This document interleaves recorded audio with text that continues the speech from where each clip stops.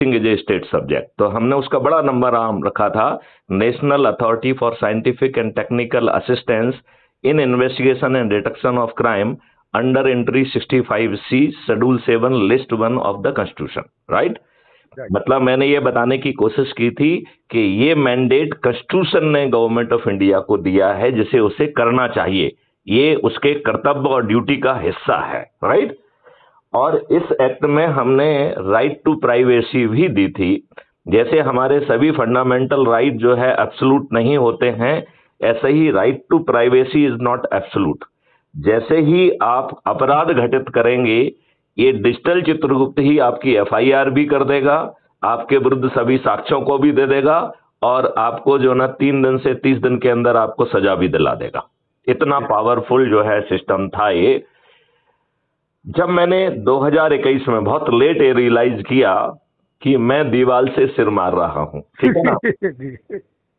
देखिए अकल धीरे धीरे आती है। हाँ, बिल्कुल बिल्कुल बिल्कुल बिल्कुल। तो हमने ये रियलाइज़ किया कि जब ये राजनेता स्वयं अपराधी हैं और अपराधियों को ही प्रेफरेंस दे रहे हैं अपराधियों को ही टिकट दे रहे हैं लिहाजा इनसे जो है उम्मीद करना मूर्खता के अलावा कुछ नहीं है। कुछ नहीं है बिल्कुल राइट ये राजनेता इतने घटिया लोग हैं कि जिन कार्यकर्ताओं के कारण ये राजनेता बने हैं ये अपनी ही व्यवस्था से उन्हें प्रताड़ित करते हैं फिर थोड़ी बहुत राहत देके उन्हें अपना चरण सेवक बना के रखते हैं। बिल्कुल बिल्कुल। उन्हें सम्मान भी नहीं देते हैं उन्हें महत्व नहीं देते हैं और टिकट तो उन्हें देते ही नहीं है। टिकट इन हमेशा जो ज़्यादा पैसा देता है जो बाहुबली है दल बदलू है जो अपराधी है उसको जो है ये वो देते हैं।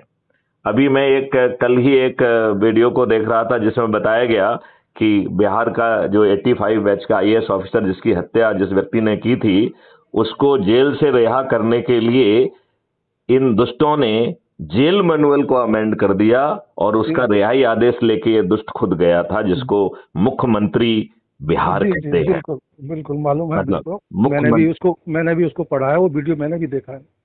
तो मेरा कहना है कि ये इतने दुष्ट हैं तो यदि हम इस पूरी व्यवस्था को यदि दो मिनट के लिए राक्षसी व्यवस्था कहें। कौन सी व्यवस्था व्यवस्था। नहीं इसको हम बहुत पर्पजफुली कह रहे हैं। हम्म। आप मेरी हर बात का कैलिब्रेटेड समझना और मेरा ये लक्ष्य भी है कि इस वार्तालाप को मैं बहुत जल्दी समेट लूँ राइट क्योंकि लंबी बात होने पे फिर आदमी को सुनने और कहने दोनों की जो है ना, वो थोड़ी सी खत्म होने लग जाती है। तो मैं इसे बहुत जल्दी समेटना चाहता हूँ, फिर आप इसमें पूछेंगे तो आगे बढ़ाएँगे। तो जो ये राक्षसी व्यवस्था है, हम बचपन से कहानियाँ पढ़ते आए हैं कि राक्षस की जान एक तोते में होती है। तो इस आज की राक्षसी व्यवस्था की जान जिस तोते में है, उस तोते का नाम राजनेता है। जी, बिल्कुल। हम इस राक्षसी राक्षसी व्यवस्था को तब तक नहीं बदल पाएँगे जब तक हम इन राजनेता नामक प्राणियों को हराने का कोई साधन ना बनाए। तो आपको किशन जी जो है ना, जान के बहुत अच्छा लगेगा कि क्राइम फ्री भारत मिशन ने 21 लक्ष्यों के सहित महापरिवर्तित भारत को ज़मीन पर उतारने के लिए इतनी पावरफुल व्यवस्था बनाई है जिसमें ना किसी के सामने हाथ फैलाना होगा और ये सभी राजनेता अपनी हार स्वीकार कर लेंगे मतदान के पहले स्वीकार कर लेंगे। जी बिल्कुल। तो आप ऐसी व्यवस्था को जानना नहीं चाहेंगे? जानना ही नहीं चाहेंगे। अगर उस व्यवस्था के लिए हमें कुछ भी करना पड़ा किसी भी हद तक तो वो भी करेंगे। Great great. तो इसमें एक छोटा सा ऐप है जिसके आप हिस्सा बन चुके हैं जिसका नाम है crime free Bharat mission app right जी। इस मिशन में वो चाबी डाल दी गई है कि इसका यदि हम ठीक ढंग से उपयोग करेंगे तो हम जो है 2023 में मध्य प्रदेश राजस्थान और छत्तीसगढ़ में और 2024 में ऑल इंडिया लेवल पर सभी राजनीतिक पार्टियों के सभी राजनेताओं को न केवल पराजित कर पाएँगे बल्कि अधिकांश की जमानतें भी जब्त होंगी। और हमारे खींचे से पाँच पैसे नहीं लगेंगे, ना ही हमें कोई जुलूस निकालना होगा, ना ही किसी को अर्जी देना होगी, और ना ही हमें अपना प्रचार करना होगा, ना ही हमें अपने लिए वोट मांगना होगा। इसके बाद भी ये इतनी बुरी तरह से शिकस्त करेंगे खा जाएँगे कि इन्हें आम सभाएँ लेने में झिझक होगी, संकोच होगा। इतने, ये इतनी हार स्वीकार कर लेंगे। ऐसे पावरफुल मॉडल को आप नहीं सुनना चाहेंगे?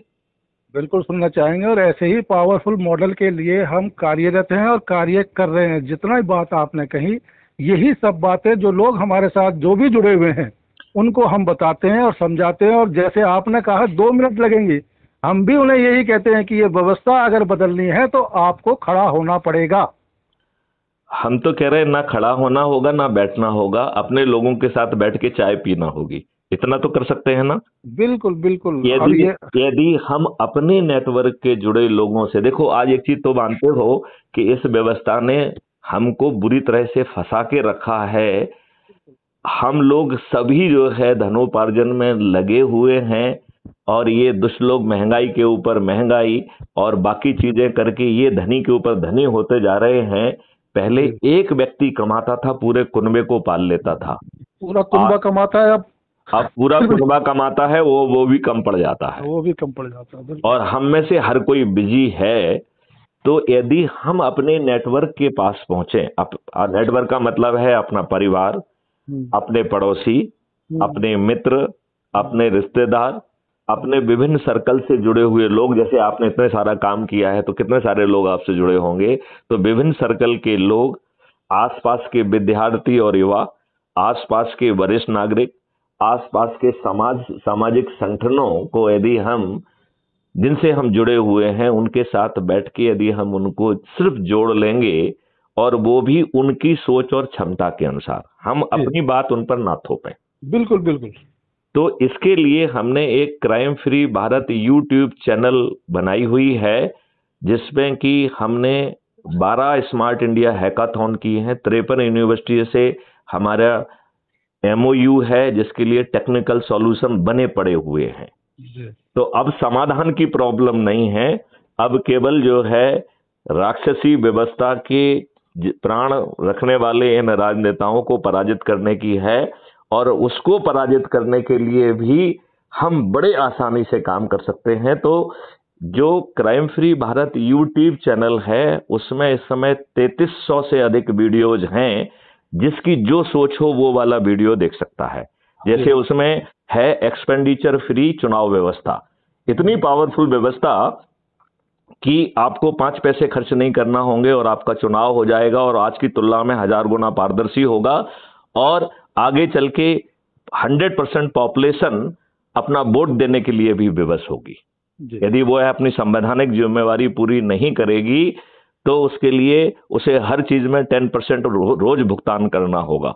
और उसे हर दिन ये बात याद दिलाई जाएगी कि आपने अपनी संवैधानिक जिम्मेवारी का निर्वहन नहीं किया है। इतना पावरफुल जैसे उसका क्राइम फ्री भारत का एग्रो मॉडल है, वो बता रहा है कि हम रासायनिक विष को कैसे खत्म कर देंगे, हम निरोगी और दीर्घायु हो जाएँगे और किसानों की आमदनी पाँच गुना और मजदूरों की दस गुना होगी, जो बाद में बढ़ के पच्चीस गुने से भी ज़्यादा पहुँच जाएगी। भारत में एक भी ऐसा व्यक्ति नहीं रहेगा जो गरीब हो।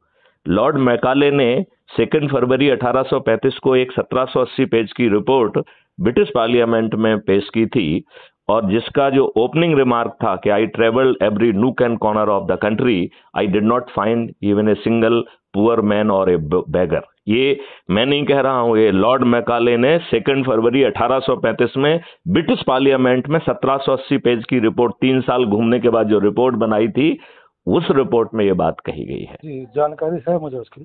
तो मैं यही कह रहा हूँ कि हम जो है पाँच साल में जिस लॉर्ड मैकाले ने जो सेकेंड फरवरी 1835 को कहा है मैथिली शरण गुप्त कह रहे हैं कि हम दो हज़ार उनतीस तक उस भारत को ज़मीन पर उतार देंगे।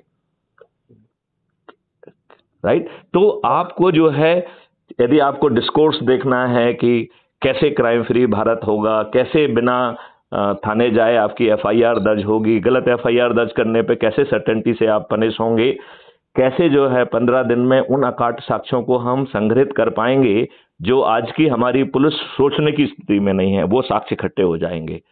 और पंद्रह दिन में चालान पेश हो जाएगा, और distributed video based trial system के माध्यम से बिना कोर्ट जाए अधिकांश केसेस में तीन दिन में और अधिकतम तीस दिन में आपको न्याय मिल जाएगा।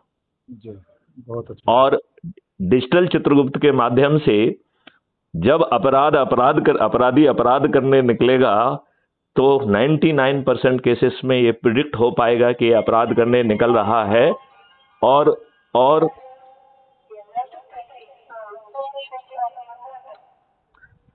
तो हम जो है 99 परसेंट केसेस में अपराधी को अपराध करने के पूर्व अपने चुने हुए स्थान पर रास्ते में गिरफ़्तार कर पाएँगे।